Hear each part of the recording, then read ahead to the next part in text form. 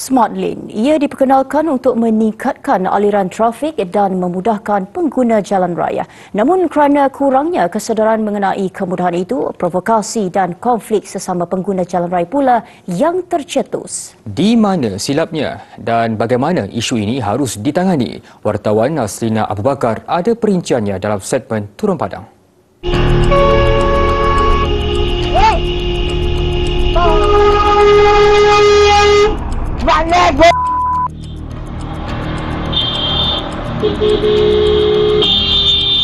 Ini antara konflik atau provokasi yang berlaku bila pengguna jalan raya masih keliru dengan kewujudan atau pengaktifan Smart Lane. Kekeliruan ini didakwa berlaku kerana ramai yang masih menganggapnya sebagai laluan kecemasan. Selain mendakwa papan tanda yang tidak jelas dan persamaan dengan laluan kecemasan, pengguna juga berpendapat kekurangan informasi yang jelas juga salah satu punca berlaku kekeliruan berhubung pengaktifan Smart Lane.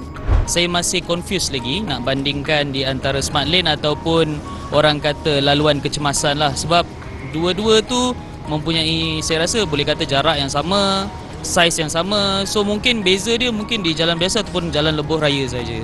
Kadang-kadang sedar-sedar eh dah smart lane kan itu sebab papan tanda dia pun kuning juga kan sama dengan antara papan tanda yang lain kan. Nah, so confused juga ah. Kita kadang-kadang ada sifat yang tak sabar semua, nak cepat semua kan. Tapi elok motor, saya bukanlah nak backup antara motor ah. Elok motor, elok kereta. Ada sifat yang tak sabar tu semua kan.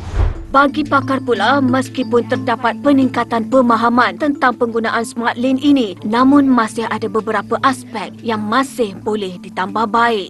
Benda tu bagus tetapi mentaliti kita yang uh, tak begitu bagus benda tu. Uh, semua orang ada yang tak faham sampai yang blocking dan sebagainya. Tapi yang lebih penting adalah ada juga orang yang penting diri yang salah gunakan uh, benda tu uh, yang membuatkan benda tu jadi lagi teruk lah.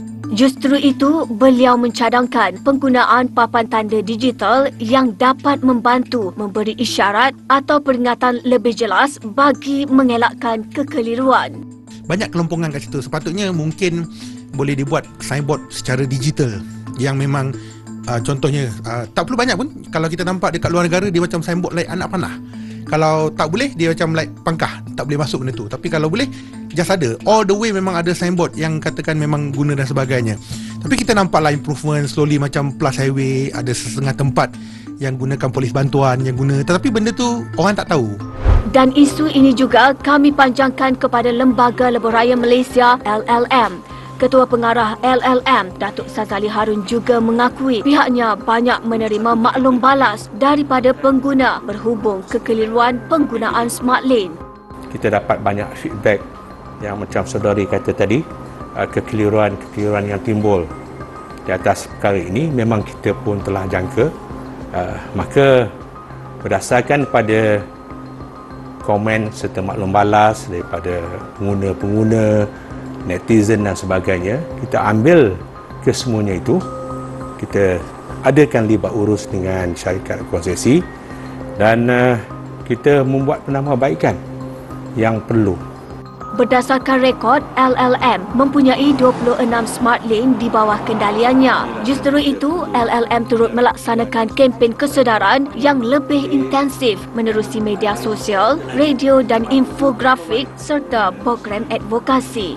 Biasanya pengguna-pengguna akan melihat kepada papan tanda-papan tanda yang telah pun kita pasang uh, mengatakan bahawa di sinilah bermula smart lane dan uh, indikasi yang paling mudah uh, bila kita lihat ada lampu hijau yang berkelip.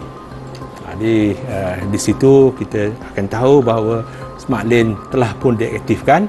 Sementara itu, pengarah pemantauan operasi LLM berkata teknologi kecerdasan buatan atau AI juga akan digunakan untuk mengaktifkan smart lane secara automatik sekaligus mengurangkan keperluan untuk intervensi manual pihak uh, konsesi akan datang tapak dia akan meremote untuk hidupkan lampu hijau tersebut. Jadi uh, kita sekarang ni kita juga dalam pendekatan untuk penggunaan AI di mana kita akan men- uh, monitor ataupun memantau secara CCTV sekiranya uh, lo- uh, hala ataupun arah lebuh raya tersebut uh, apa ni sesak kita akan activate dia secara apa ni uh, AI di mana pengguna daripada CCTV itu akan uh, disseminate info kepada lampu ini untuk dinyalakan dan mengaktifkan smart lane tersebut.